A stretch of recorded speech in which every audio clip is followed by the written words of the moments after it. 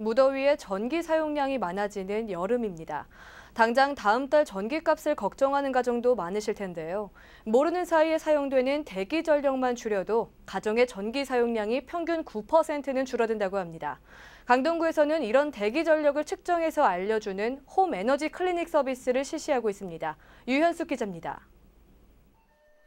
에너지 클리닉 서비스를 신청한 강동구의 한 아파트 가정집입니다. 에너지 컨설턴트가 직접 방문해 이 가정의 에너지 사용 습관을 살펴봅니다.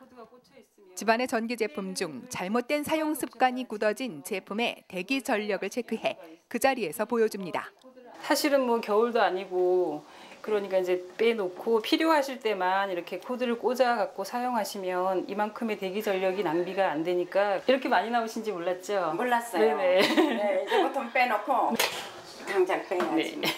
에너지 컨설턴트는 이렇게 가정에서 사용하는 전자제품의 에너지 낭비 요인을 알려주고 근본적인 절감 노하우를 주민들에게 전달하는 역할을 합니다.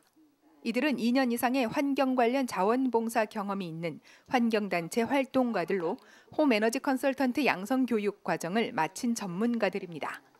저는 이제 강동구의 환경온호 시민 모임이라는 그 봉사단체에서 활동을 하다가 서울시에서 원전 하나 줄이기 사업으로 에너지 컨설턴트 양성한다는 소리를 듣고 이제 환경과에서 추천을 받아서 저희가 강동구의 10명이 서울시의 교육을 받고 각 가정을 방문하여서 이제 에너지 진단을 해드리고 있는 일을 하고 있거든요. 에너지 진단을 받으신 가정이 올해 저희가 체크를 해봤더니 한 9% 절감을 했더라고요.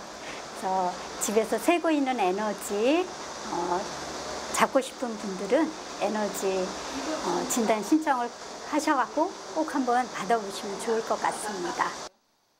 강동구는 가정 내 새는 에너지를 찾아주고 에너지 절약 노하우를 알려주는 홈 에너지 클리닉 서비스를 진행하고 있습니다. 에너지 진단을 원하는 가정은 서울시 에코마일리지에 접속해 신청하거나 강동구청 맑은 환경과로 전화 신청하면 됩니다. CNN 뉴스 유현숙입니다.